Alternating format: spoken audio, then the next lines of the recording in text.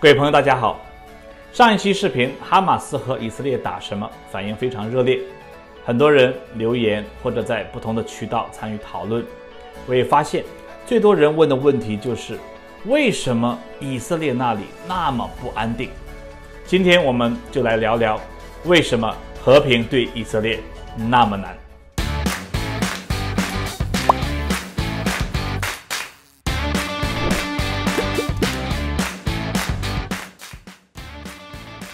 蜜语田园是我最新改版的节目，希望能通过一些不定期的分享，带给大家更多的神的话语与时代结合的内容，以神的心意观看列国与形势，以圣经角度展望时事与未来。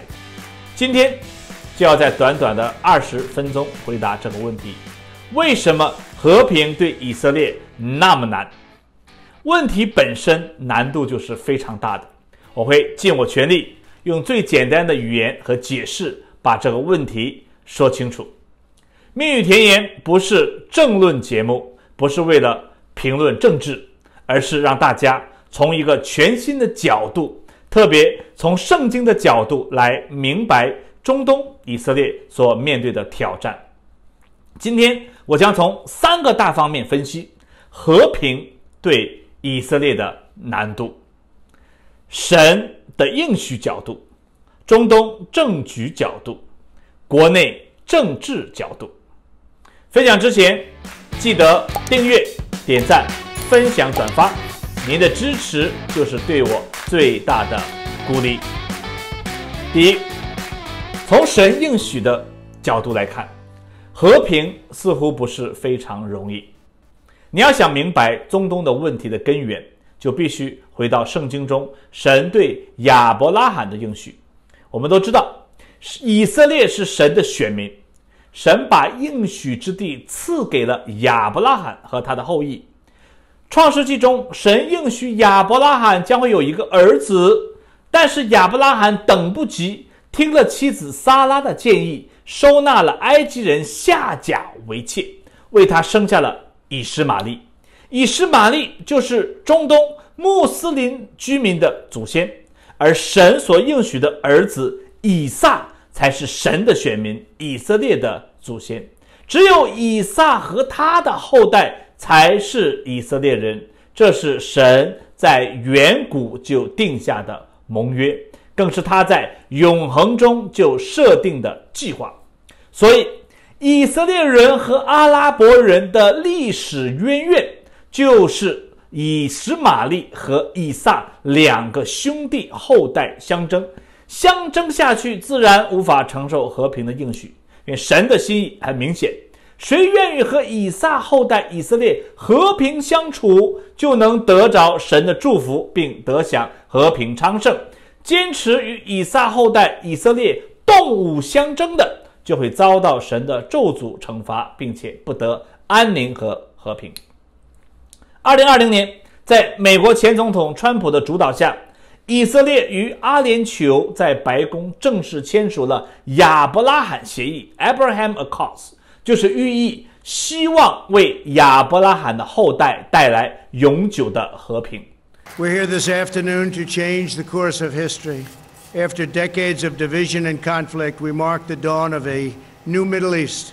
自从1994年以色列和约旦签订了和平条约以来，阿联酋成为中东第一个承认以色列主权的主要国家。而这个协议也是25年以来迈向中东和平的最重要的一大步。虽然25年来才走这样的一步，你可以很清晰的看到每一步是多么的辛苦，而且。真的还有很多很多步在前头。创世纪十二章第三节告诉我们说：“为你祝福的，我必赐福于他；那咒诅你的，我必咒诅他。地上的万族都要因你得福。”另外，神在历史上就为了让以色列人保持征战的状态。故意保留腓力士人在以色列人身边，为的是让以色列人不要松懈自己的斗志，更不要因为完全的和平而忘记了耶和华他们的神。现在，巴勒斯坦哈马斯占领的加沙以前就是腓力士的地盘，也有学者相信，巴勒斯坦人可能就是腓力士人的后代。英文巴勒斯坦 （Palestines） 和腓力士 （Philistines） 发音也很接近。真的假的？很多争论。如果是真是这样，巴以和平真的要等到主耶稣再来的时候才能有个了得。第二。从中东的局势角度来看，以色列的和平真的很不容易。以色列为了复国和生存，从1948年到1982年，和周围的阿拉伯国家打了五次大型战争，我们通常叫做五次的中东战争，还有无数次局部的小型战争。今天没有时间。详细解释这五次中东战争。如果你感兴趣，回顾一下我过去的课程《遍览圣地》系列一到四中的应许的完全应验，我有提到过一些。总之，和周围邻居打了四十年，可想而知，以色列和周围的阿拉伯国家的关系会好到哪里？我记得在以色列，我问过一个巴勒斯坦的朋友啊，圣经写的那么清楚。神把这块应许之地给了以色列，为什么你们阿拉伯人不承认，非要把以色列人赶到大海里？他的回答简单而且发人深省，绝对是书本上所看不到的。他说：“如果你的家过去几百年啊都住在一间老房子里，而且你还有这个房子的地契，有一天一个陌生人来敲你家的门。”说他家的祖先两千年前在你家的这个房子的这块地上住过，也就证明说你家的这个房子就是他家的，让你立刻搬走，你会给他立刻乖乖的搬家吗？我想这个比喻可能很形象的说明了巴以之间土地争夺的根源矛盾。另外一个，另外一个无法解决的矛盾。是圣城耶路撒冷的归属问题。耶路撒冷本身就是世界宗教的中心，三大宗教的圣地。西墙是犹太教的圣地，当年犹太圣殿基座的遗址；圣殿山是穆斯林的圣地，先知穆罕默德登天见阿拉的地方；圣墓大教堂是基督徒的圣地。主耶稣被钉、埋葬、死里复活的原址，以色列坚持耶路撒冷是他们永远的首都，写到宪法里。极端犹太教徒还要吵着要重建第三圣殿，巴勒斯坦人则坚信耶路撒冷是巴勒斯坦国的首都。虽然1967年失去了控制，但是总有一天我们要夺回来。双方都秉持着这样的立场，也都不要说把耶路撒冷一分为二，一人一半，那么怎么能谈得拢？我最喜欢的一本书叫做 Simon Montefiore 的《Jerusalem 的 Biography》，有这样一段话，很客观地说明了耶路撒冷归属问题。耶路撒冷被犹太人独占一千年。被基督徒独占四百年，被伊斯兰教徒独占一千三百年，而且他们没有一个不是依靠刀剑、投石器或榴弹炮获得的。耶路撒冷总是巴以冲突的焦点的导火索，包括这次和哈马斯的冲突，也是源于五月初圣殿山的骚乱，所以。耶路撒冷到底属于谁的问题解决不了，你就不能有永远的安宁和和平。第三，从以色列国内政治角度来看，和巴勒斯坦人的冲突总是无法避免。就算巴勒斯坦人老老实实夹着尾巴做人，以色列也。有事没事的去捅一捅他们啊？为什么这样？很简单，政治需要。上一期哈马斯的视频我提到，以色列打哈马斯啊，就好像重量级拳击手打小孩子一样。为什么到现在以色列都不下狠手，干脆一拳打死他们？为什么哈马斯明知道打不过以色列，还要坚持一种斗争的姿态啊？这一切都是政治表演。今天我们不提哈马斯，单看以色列。通常啊，我们基督徒谈到以色列，我们都觉得这国家了不起，很团结，有军事能力，谁都不敢欺负他们。以色列是一个很伟大的国家，我绝不否认。我爱以色列，但是有一点很多人不知道：以色列国家内部分化、社会分裂非常严重，并不是你想象的那么团结合一。具体三大社会撕裂现象，基本无法解决。第一，犹太人和阿拉伯人的矛盾。这里的阿拉伯人不是说周边阿拉伯国家的人。而是拥有以色列国籍的以色列阿拉伯人。二零一九年，以色列犹太人占全国的百分之七十五，阿拉伯人就占了百分之二十五，也是相当大的比例。以色列和周边的阿拉伯国家打仗打了那么多年，犹太人和阿拉伯人的关系肯定有裂痕和芥蒂。二零一八年。内塔尼亚胡推动立法宣布，以色列是犹太国家啊，这明显不把那百分之二十五的阿拉伯族以色列人摆在眼里，社会矛盾激化。阿拉伯人在以色列的国会还有几个自己的政党，不能说他没有力量去抗争。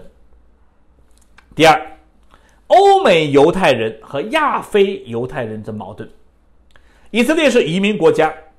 一九四八年建国的时候，主要是来自欧洲的犹太人是主体，所以欧美裔的犹太人自然就是以色列的领导者。后来从亚非来到的以色列的移民越来越多，好像从埃塞俄比亚的犹太人，我们通常叫他们黑犹太人，啊，就是其中的一群。欧美犹太人通常文化教育非常高，亚非犹太人则在社会的。底层备受歧视，都是犹太人，但贫富差距相当巨大，也造成社会的不稳定性。第三，极端正统派犹太人和世俗犹太人的矛盾。提到犹太人，我们总会想到那些黑衣黑帽、大胡子、卷卷鬓角，在西墙前祷告的那些人的画面。其实不是所有的犹太人都是那个样子，那些基本都是极端正统派犹太人，也叫哈雷迪啊。他们生活极度保守，恪守犹太的律法，也是这帮人喊着要重建第三圣殿。最要命的是，他们可以选择不工作、不当兵，就在家里学圣经啊。还有的就是他们超能生孩子啊，有统计。哈雷迪家庭平均有七个孩子，父母不工作，谁来养家呢？全靠国家补贴吃社会福利。所以哈雷迪现在有一百多万人口，每年还在快速的增加，政府也拿他们没有办法。谁让你立法说以色列是犹太国家啊？哈雷迪就是犹太人中的犹太人啊！加上他们在国会中也有自己的政党。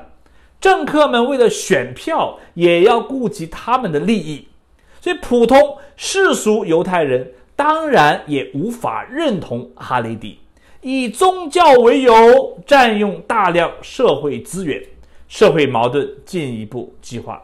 所以你看，这么多的矛盾和麻烦事：犹太人和阿拉伯人之间的矛盾，欧美犹太人和亚非犹太人的矛盾。